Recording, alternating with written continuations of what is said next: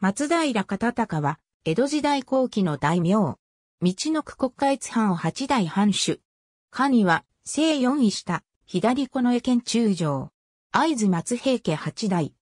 今日は3年12月23日に、日立国水戸藩の徳川春森の次男、ホトモの諸子として誕生。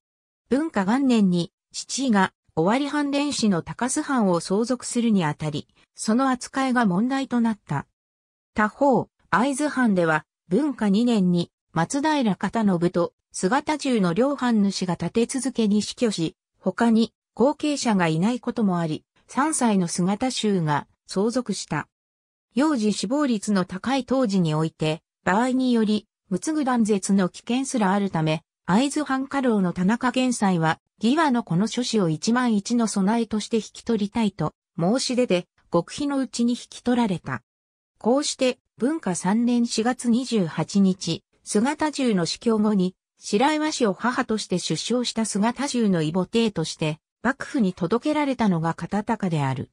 なお、若松市市では、事実が、会津松平家府などの公式資料では幕府への届け出内容が取られている。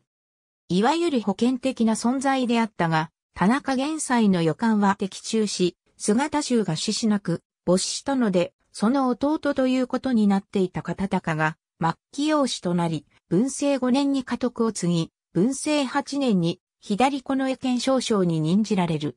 高下3年、高須藩主を継いだ実刑、吉立の睦を、片森に娘、利姫を、主和せ、養子氏とした。文政10年、西四位下左近衛県中将に除任。嘉永5年に死去した。